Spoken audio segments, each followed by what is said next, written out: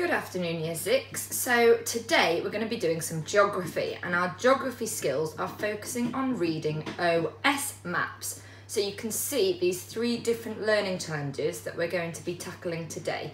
So, we've got Can you confidently explain scale and use maps with a range of scales? Can you use OS maps to answer questions?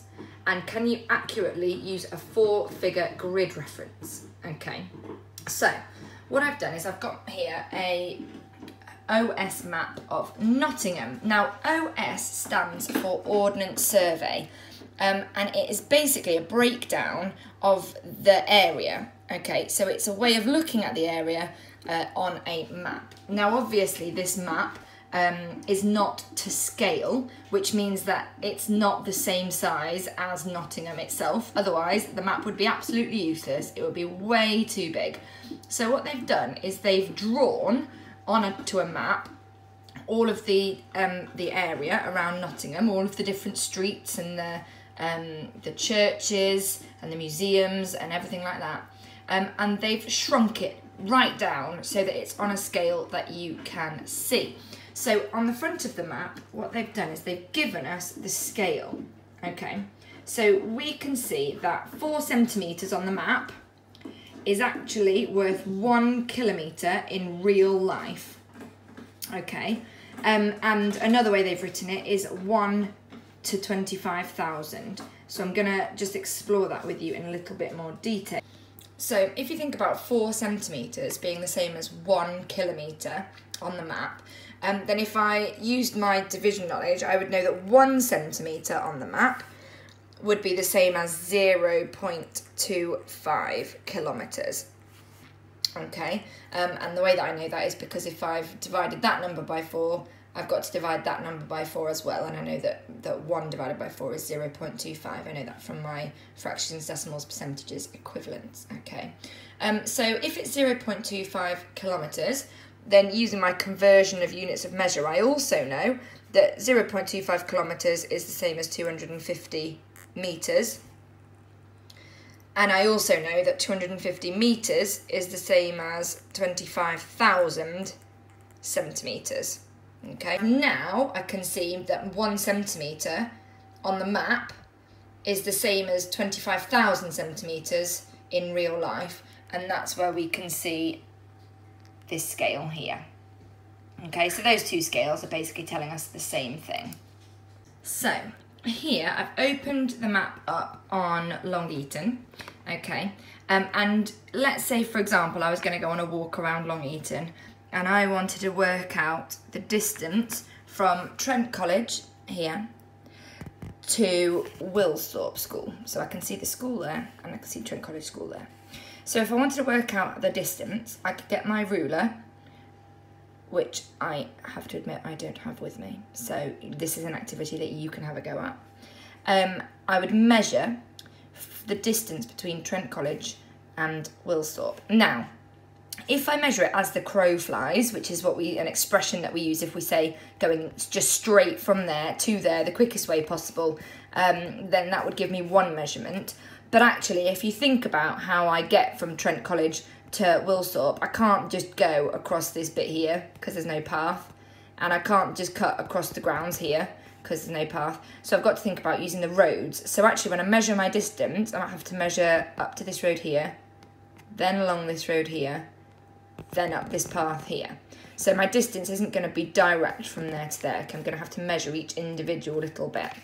Okay, so let's say that I measure it and uh, this section here is half a centimetre and this section along here is one centimetre and this section up here is one centimetre, okay? So I've measured that and on the map it's two and a half centimetres. So I know that one centimetre is worth 0.25 kilometres uh, but I want to have 2.5 centimetres because that's the distance that I'm interested in. Okay, so turn one into 2.5, I can see that I've timesed it by 2.5. So I've got to do the same to this side. Okay, so I would do probably 250 meters times by 25. I'm going to work that out here. So 0, 5 is a 0. Oh, sorry. 5 times 5 is 25. 5 times 2 is 10. Add 2 is 12. 0, 10, 4, 5. So that would be the same as 3,250 metres or 3.25 kilometres. Okay, so the scale is really helpful for working out how far you're going to be travelling um, when you're using the map. And people tend to use these kind of maps when they're going to be doing walking um, or horse riding or bike riding, that kind of thing. Um, so it's helpful for them to know how far they've got they've got to go.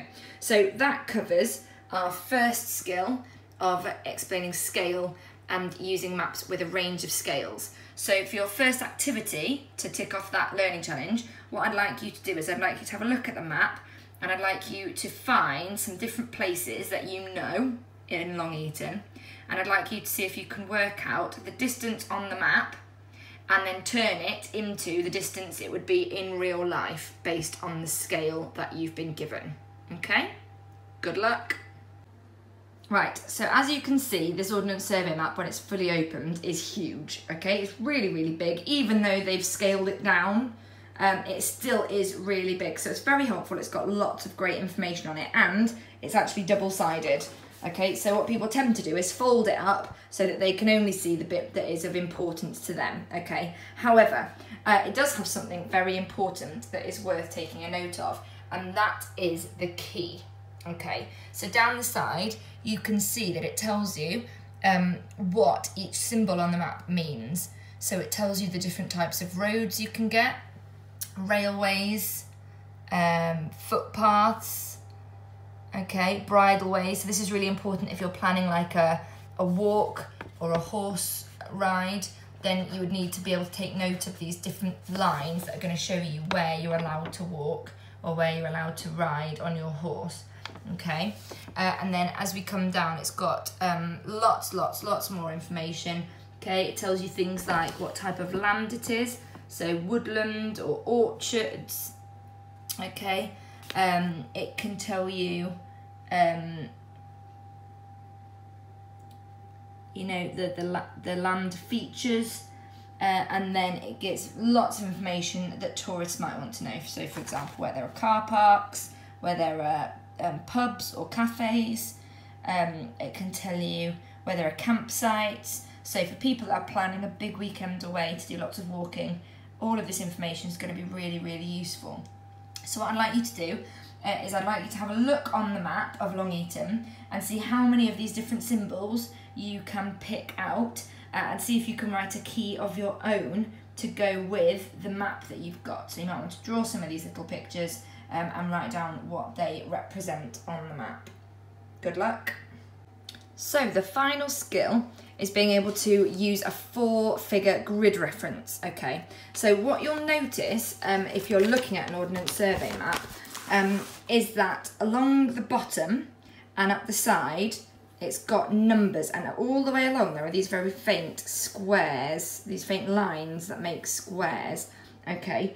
Um, and what these numbers are then used for is a bit like reading a graph, um, is a grid reference, okay?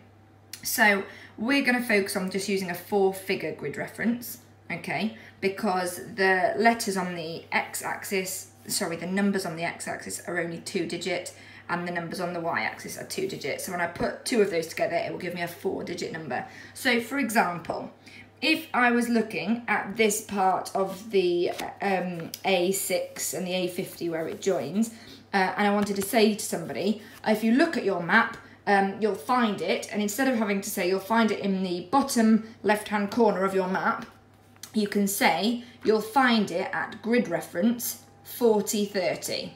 Okay, so it's in the box of 40 on the x-axis and the box of 30 on the y-axis. So it's a bit like giving a graph reading. Okay, so it's 40, 30. Okay, now that example, probably if you said the bottom left-hand corner, that would be really easy.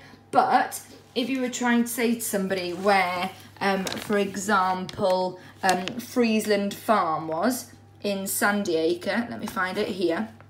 Okay, um, and you couldn't say to them, oh, it's kind of in the in the bottom uh, left-ish area by the big motorway, you know, it's hard to, to explain to them. So if you can give them a four-figure grid reference, it helps them get there a lot quicker. So I'm going to look at the box where Friesland Farm is in. So it's in this bit here. Okay, so I'm looking at this line to the left-hand side of it. I'm going to follow that down and that goes to 46. So the first part of my grid reference would be 46. Then I'm going back up to Friesland Farm and I'm going to the line just below it there. And I'm going to follow it across until I meet the y-axis, which is 36. So coincidentally, Friesland Farm is at 46.36. So I could say to my friend, oh, look on your map at 46.36, it's in that square. And they go, oh yeah, here, found it, perfect. Okay, so that is why we use a four figure grid reference. It just helps us to locate things nice and easily, okay? So your challenge now is to come up with some Ordnance Survey map questions, okay? So using the part of the map that you've got, I'd like you to think about questions about distances between places, I'd like you to ask questions about what there is in Long Eaton. So, for example, how many golf courses are there? How many pubs are there? How many schools are there?